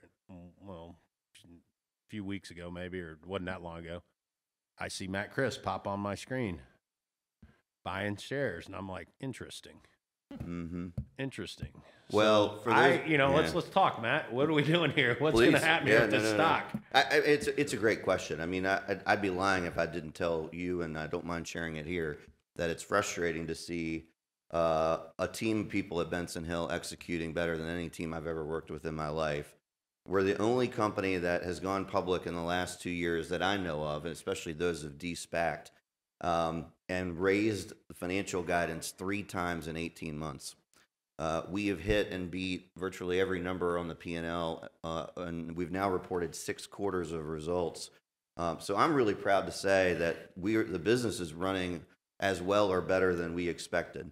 Um, we are focused hardcore on execution, on delivering on our promises, on continuing to serve our farmer partners and our customers, uh, which frankly I believe we're doing an exceptional job of. Uh, but there is a there is an overhang from I think going uh, public via de-SPAC in the back half of 2021. And uh, you know, I looked uh, yesterday in one of my uh, annual rundowns newsletters. I got the de-SPAC index was down 69 percent in sure. In uh, in 2022. And um, you know, uh, like I said, the stock price has not performed at a level that uh, I'm I'm happy with. But you know, we really are keeping our heads down, executing, delivering on our promises. And to your point, um, when the when the window first window became open, you know, the CFO, our CFO, and I got the email, open window, You bought. bought because I, I have a high conviction that the, the stock is uh, One thing significantly just from undervalued. And we did ask, you know, I, I mean, our, our belief is, yeah, there's been a witch hunt on anything that went out as a SPAC. They've just annihilated it, the short side sellers, and that's probably was the play early on. Now, with interest rates popping to where they are, the next witch hunt is they think many startups are going to be out of money. The runway's going to be short, and they're going to squeeze the hell out of them. So they've been having massive short side pressure on Wall Street. We believe, hopefully, that they're throwing the baby out with the bathwater in some aspects, and we see it as a buying opportunity. I had dinner with Matt Tuesday. I bought more shares on Wednesday, so I was buying, and we were down at around 250. So if you know, and I think we popped a little bit, but you know, I've been buying. Um, I think long term story is awesome. I remember trading Amazon early, early at the CBOE uh, when it came, and we seen similar. It's similar. I mean, you never hockey sticked early. I mean, it broke and you had pressure. Google broke, had. Pre- I mean, you know, it just is part of it. I think long term, I love Matt and love him as a friend, uh, and and you know, I think as a great CEO business leader, I think he does a great job building a great team, and that's what it takes to be a good CEO. You look at the personalities of Soren, uh, Matt, a lot different than myself as a leader. I probably would not be a good CEO. It's it's just it takes a different mentality, it takes a different approach, and I I commend both of them. I think you guys have built built great teams, and you got uh, a lot of people that that that love to work with you and be part of your uh, mission. So Thank I'm you. happy to be in it still, Matt. I'm sticking with you. So I, I'm I appreciate your more on trade. Just keep putting more on. I'm just going to keep One- putting more one- on, Matt. One little thing in dis- in markets like this where you've got these disruptions is, and we know all the analysts and we love the analysts who are covering this, and we know many of the investors. The people in this room know more about this business model than anybody on Wall Street. You're better informed about the risks and opportunity in this business model than they are. So make your decisions that way. Um, And, And and, also look to diversify, just like Tyson was the main investor in Impossible or Beyond. I mean, they were hedging, it- you know, they were hedging it off. If you're not going to adopt the technology on your farm, I would suggest you have some type of investment strategy where you can invest in it. Uh, you know, same Soren, right? You guys did the did the same at Bunge, did the same. As people do the same at ADM. So, um, you know, I, I would pay close attention and invest in it, even if you're not going to maybe particularly use it. So, that's my thought anyway. Johnny, let's move down Johnny Hunter real quick. Uh, Johnny's a good friend uh, of ours. He's from down in, uh, in the southern part of Missouri and kind of transformed his farm. I wanted him and Travis up here because they've taken products from their farm. You guys have heard Travis before. Travis will tell you about his next new venture here coming up. But uh, Johnny is doing the same, trying to, like Mary said, build a premium product off the farm. Uh, people are willing to pay a little bit more for. And Johnny, kind of tell us your, your what you got going on. Yeah, thanks, thanks, Kevin. Um, you know, the, the, the title of this talk is the, the future of, of food and farming.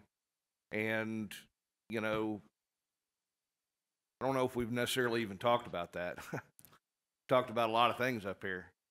Um, I, you know, when, when, when you hear Johnny talk to the group today, when, when I'm talking to you, you know, I, I'm really talking to the farmers because that's what I am. Um, I don't know much about banking. I don't know much about private equity, venture capitalism. I'm a college dropout. If you don't believe me, ask Jason Mayer. He's sitting right back there. He was with me. He watched it happen. what what I know as, as a as a producer, you know, I'm I'm third generation on my operation. I lost my dad when I was 10 years old. And so I was I was baptized in the waters of change. Change came to me whether I liked it or not, and it impacted our family farm in a way you couldn't imagine. It, it stopped. And so for 16 years, our family farm stopped. And that's a hell of a thing to go through at 10 years old. And so after I grew up, let me rephrase that. After I got older,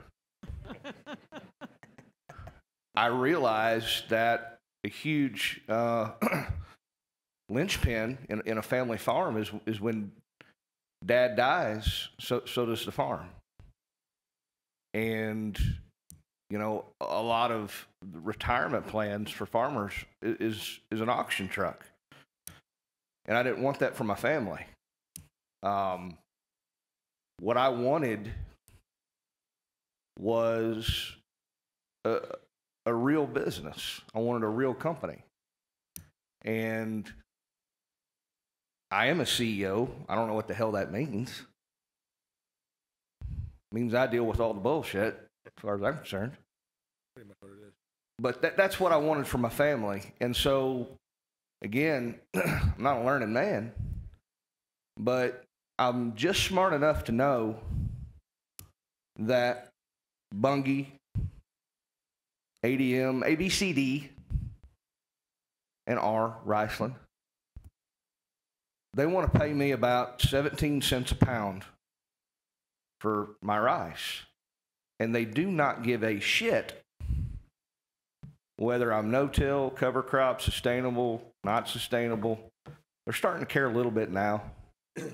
They may give you another half a penny a pound. But I was just smart enough to know that if I took that same rice, I knocked the husk off of it, I put it in a bag, and I put it on a grocery store shelf, now that product all of a sudden is worth at retail $3.50 a pound. So I went from 17 cents a pound to $3.50. I don't need an MBA from Harvard to do that math. I can do that on the hood of a truck. Now, what they didn't tell me when I built my mill and when we created the brand is that you couldn't just do that and then the phone was just going to start ringing off the hook. And I kind of thought that's how it'd go. Great family story, sustainability, our operations, no till, no flood, no burn, no fungicide, no insecticide. We use a cover crop on every acre. I've been the poster child of sustainability for about 10 years. They won't put my face on there, but they want to talk about me. It was a joke. But I, I tell you all this. I tell you all this for, for, for one reason. Whenever I, every, everybody here has spent a significant amount of money to be here, especially farmers. A dollar to a farmer is different. It's different. So you, you- you've taken your dollars and you've invested them into this into this conference. And when I do that, I always try to make sure I'm carrying one thing out the door. And if you're going to carry one thing out the door, I'd like you to carry the fact that you can't go home and continue to, to be tomorrow who you are today and, and think it's going to work. I'm really worried about the American farm. I'm really worried about the American farmer. I'm really worried about how we're going to buy land. And you need to be equally worried about if something happened to you tomorrow, where does that leave your family farm? Do you have a company or do you have a lifestyle? Most of you have a lifestyle. And you need a company, you need a process. Thank you. That was good, Johnny. That was nice. Um, Travis, kind of expand a little bit on that. Yeah, that was good, John. I think I think most of you know Travis. He started uh, coming here back. Uh, we were dipping the the the uh, tractor out of the coolers. Remember you and all the kids, Travis, and he was dipping it out with Dixie cups. And I'm like, God dang, Travis, this is going to be a tough road to hoe. And the next thing we know, you got it in all the Chipotle's and in a lot of all the 7-Elevens and things have really launched and taken off. And you're doing uh, some other new ventures, but you got the kids all here and doing all kinds of crazy stuff. So, congrats, Travis, and appreciate you showing up. Kind of tell us what uh, where you see things headed and what you got going. Well, first of all, after these guys, I feel like I shouldn't even be up here. Uh, I appreciate everybody being here, and and uh, Kevin, what you do for the world of ag is is tremendous. Uh, really appreciate that. Um, it's a it's an honor, it's a blessing to be here. I'll give you guys a little bit of background. Um, I only have 11 children. Um, we have our eighth and ninth grandchild on the way, and yes, I'm 12. Um, so you do the math. Um, uh, we we uh, I, I grew up as a farmer rancher too, and and uh, one day we went to the sales yard and I got we we, we sold a, a sheep to the at the sale for eight bucks. Now you had to sell for ten bucks, uh, otherwise they kept the rest of the money. Uh, it, was, it was a rough day. Now a couple weeks before that, I was staying up all night trying to keep lambs alive, and uh, and I thought to myself, this is not going to last. Four thousand acres, we can't afford to eat, and uh, and so that same day, I went to the, the grocery store, and uh, this is a very long time ago, uh, 30 some years ago. And, uh, and it was 12 bucks a pound for lamb. I'm like, how is it? I sold a whole sheep for negative $2, and, uh, and they're getting 12 bucks for a pound for that dang lamb in a, a Mexican market in the middle of nowhere. I'm like, how's that even work? And so I'm like, I got to figure that out. So like him, uh, 17 cents to 350, I'm like, there's a gap, and I got to figure out that gap. So in that, we tried a little bit of everything. Uh, the biggest thing I figured out, like him, is I couldn't go to a regular university.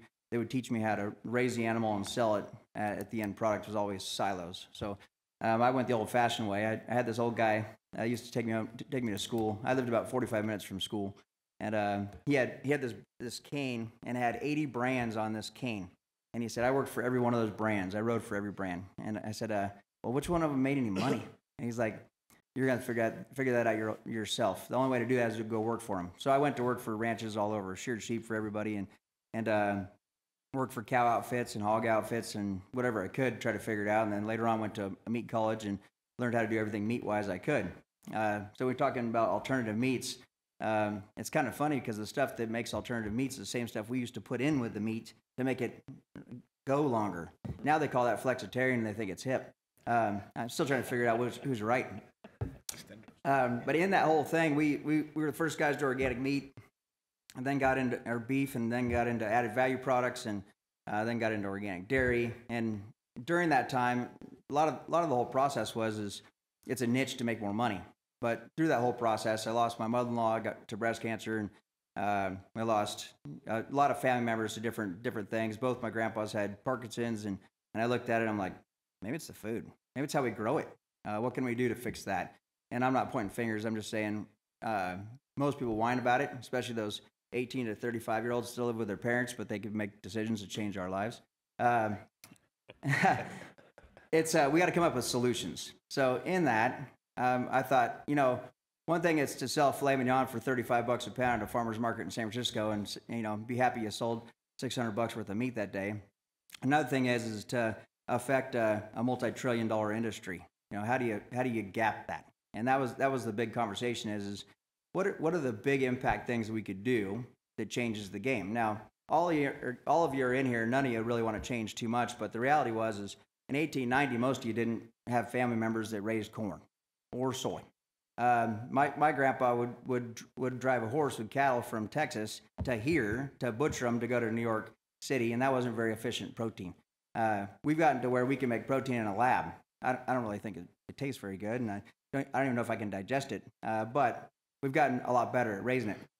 But as I, I've kind of gotten deeper and thought about what do we do for the world, um, and so in this, we went through the whole process of, well, first of all, how can, I, how can we get a product to, to the end user and make some money out of it? We did that. So tractor, first of all, tractor I think is probably one of the most efficient tools of all times and, and sure made it so people don't have to work so much. Imagine how people can't even show up for a regular job now, how they work in the field. Like we needed a tractor. Um, but tractor beverage, uh, we, you know, 10 years ago, I was on my kitchen table mixing up drinks, trying to figure out how to, how to, how to take waste fruit juice and turn it into something that people would actually buy. And it wasn't just to get rid of Coke and Pepsi. It was uh, for all those water drinkers that were going in the restaurant. If you're in the restaurant industry and and uh, and you're you're selling food and you don't sell any beverages, you're no longer in the restaurant industry. All the money's in the beverage. So in that, we could have gone to Whole Foods and and you know Trader Joe's and all the natural food stores and sold them drinks and been like the other 97.5% of beverage uh, companies that don't make it. Um, or we decided to go a different route. And so, like like he did, going a different route's not easy. You get kicked in the, you know, what's a lot. Um, so you got to figure out what to do. But we went around them and figured out that there's a huge need in in beverage, which is a massive opportunity, also to get healthier stuff into people's bodies. Now, yes, we use sugar. We use a lot less sugar than most people, but it's still it, it's still something we're working on and having less of. But we also have fruits and antioxidants and nutrients that are good for you in it. And now we are in thousands and thousands of locations. I, I, um, we built a team around the company, built it. Um, the other day, they told me we sold 80 million drinks this past year, which uh, that's not a pat on my back. It's like, holy, cr- these guys did it. I just made the drinks. Um, but I did the math. It was actually closer to 100 million, and I thought that's a pretty big deal for you know. There's 400 million people here. Maybe maybe every one of them, you know, a quarter of them got to drink some, or there's a lot of people just drinking a lot, you know, 10 or 15 drinks a day. I don't know how it works. But uh, but as as I knocked on a lot of doors, I've talked to every single every place that you have eaten that's a fast food chain. I've talked to every single one of the people that have been there forever. That'll never change. They usually get fired, and then they finally call us. Um, um, and I've knocked on their doors, and we've knocked on their doors to talk to them for the past 10 years, saying, "Hey, we've got a better alternative than you you giving a free cup, which costs you 20 cents of water to somebody." Now, Chipotle jumped on the bandwagon with us a few years ago, and it's been pretty amazing. Now I knocked on their door for a long time, I, and and they they went through a lot of changes, good, bad, and ugly.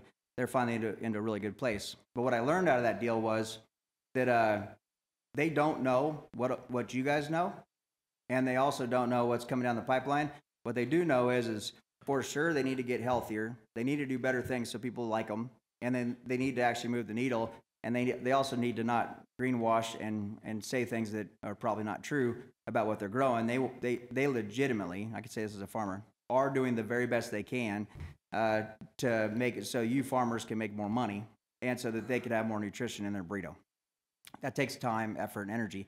And they've tried some stuff. I don't know if you tried the first queso, but it sucked. Um, that's my personal opinion. But uh, but drink wise, they made me try. They made me do 80 different versions of one drink to decide not to do it. Now, that's a lot of work. It takes, it- oh, that's a lot of time over and over dealing with people flying all over. But the reality was, is when we figured it out, it did pretty well. And that's what, that's what you basically have to keep on innovating. And, and it could be as, something as simple as using some waste watermelon juice that turns into something that tastes good that people like, that makes their burritos sell more. Um, in that whole process, though, they always come back to me for interesting and weird questions. Because I'm like, you guys need organic drinks. Now, now we're one of the b- largest buyers of organic sugar in the world. I feel like I'm, you know, kind of at fault with the diabetes issues, but it's less than everybody else's, so I still feel good about it. Although I, I do need organic sugar. If anybody has some, raise your hand. Um, about 40 million pounds.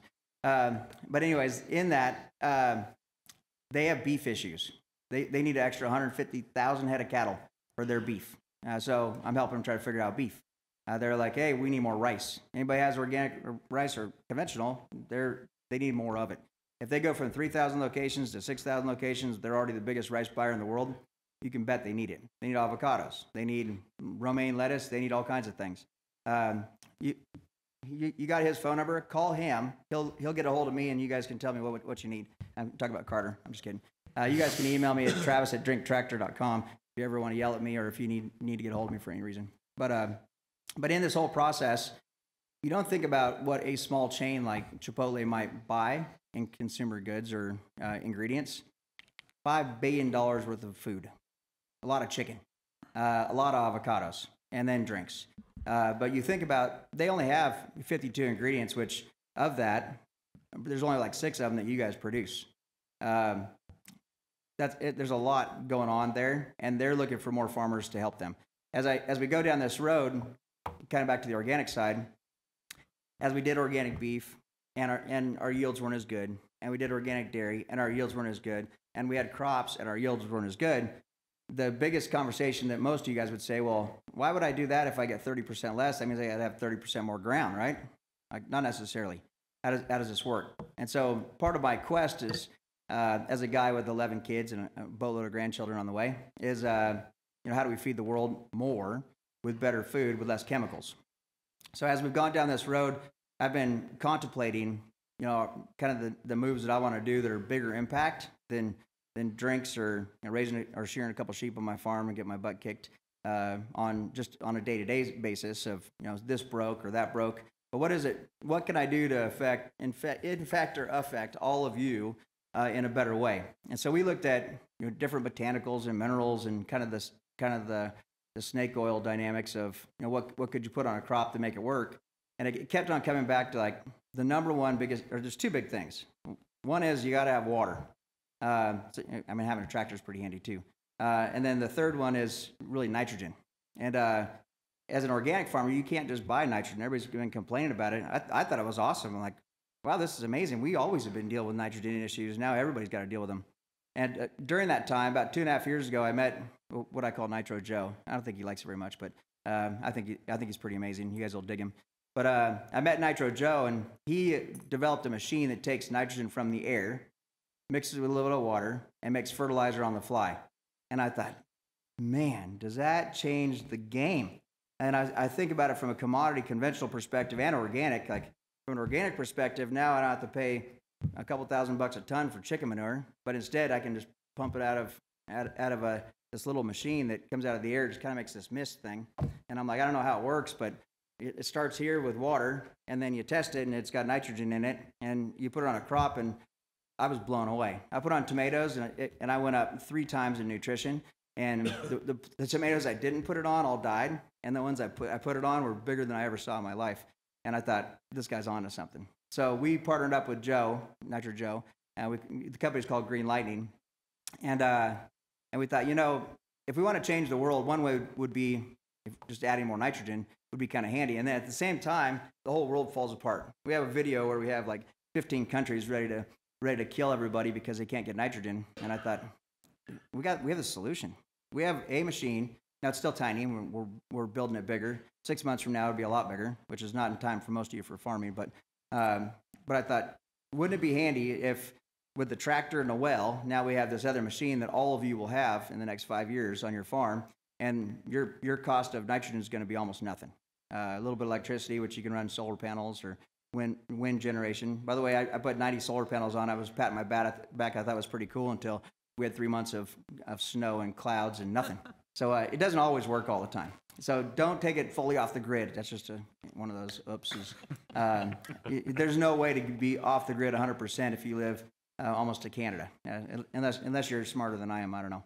Um, but in that whole process, we're we're trying to figure out what what are these things that we can do to kind of move the needle. So the one was nitrogen. The other one was what if we can make our water more usable? What if we can not uh, n- not get it all clogged up by so is there a water system that we can use that would do something so we found uh, the eco guys and they've got this system that's unbelievable uh, that does that makes the water more usable and more functional and you can if you're using 30% less water it's a whole lot less electricity and a whole lot less that you have to deal with so then we got into the bigger conversation i, I got in this bigger conversation with with chipotle uh, we went round and round a little bit on what's the future of protein look like um, and some people said you know, can you do the plant-based? How does that work? And at the same time, Burger, or McDonald's came out and said we're selling less than one plant burger uh, per store per day, um, and it, unless you're going to buy more of them, we're no longer going to carry these. And all of a sudden, the plant-based communities, ah, and they're like, well, you were sneaking a regular burger when you were trying to sell us a uh, plant-based burger. So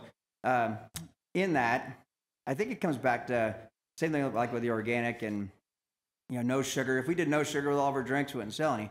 I think it all comes back to just having the basic fundamentals. Like 98% of the world is going to eat the same stuff. We just need to tweak it a little bit to make it healthier. Like he was, he was saying, uh, can we have more omega 3s per acre? I think, I think we need to figure out, instead of bushels per acre, we need to figure out, uh, I'm, I'm just going to guess here, but let's just say we have uh, 1,200 pounds of, of protein with uh, 90% TDN in it per acre instead. Or higher omega 3s. Our omega 6 levels versus omega 3s are one of our reasons why we have a 350 uh, billion dollar heart disease bill a year. Uh, these are all things that we got to we got to work on, and that and I, I agree with him. I think I think people living to be like 118 is a, is a way smarter uh, business model than people dying at 68. Um, I'd much rather sell to them for longer. It makes it it makes it a lot better for all of us. So, but going into this kind of bigger conversation about uh, uh, wh- what is the future of agriculture, like he was talking about. Uh, it's it's really just using. I, I I was anti-technology before. I, I was kind of I was hanging out with a bunch of Amish people, and I thought they had it figured out until I realized they couldn't really scale. But I thought there's only so many people that work, and I came back to like there are some technologies that do make our lives better. I don't know if our phone does or not, but I'll tell you, it's a lot handier to pay a bill from our phone than it was to stand in line at the bank on a Friday afternoon and they close before you can even get in there. So we, there's some technologies that are better, uh, that are smarter, that we can use, that are going to make us significant, significantly more efficient. Matt's got some technologies that he's working on that'll make us so that we can grow more food and more. And, and we talk about nutrition, you guys are really energy and nutrition farmers. That's what you do. You produce protein, you produce fat, you produce sugar, and you produce energy. There's not really a whole lot of extra in that. I mean, there's you can get down in the micronutrients and all that, but the reality is, is if you look at it from a big perspective, you know, how much do we need? How much do we eat? If we tweak this a little bit, how can we get it so that people are healthier and, and we can make more money off of it? It's going to come back to this goes back to the innovation part. The innovative farmer that does do things that are different. I'm talking about the 2% of you that will actually come out and talk to us. Um, you're the ones that are going everybody else is going to watch, sit back for a little bit, and then next year, the rest of you are going to jump on board when it works for them, or five years from now, depending on how the S curve works. It worked. It was like that with with Chipotle with us. It took ten years to get to a point where where everybody wants to talk to us now, and every one of your every one of your towns are, are going to carry our products, which is amazing. Going backwards a little bit. We're gonna have to take a break, Trev. You sorry. I think I think we're already 15 over. I know everyone wants to hear Travis, and he can definitely keep on rolling. But let's take a 15 minute break. I have Granger Smith coming up next. Then we'll break again for lunch. Thanks the panel for being up here. Thank Talk you to all. them when you have questions. Appreciate it. Thank you.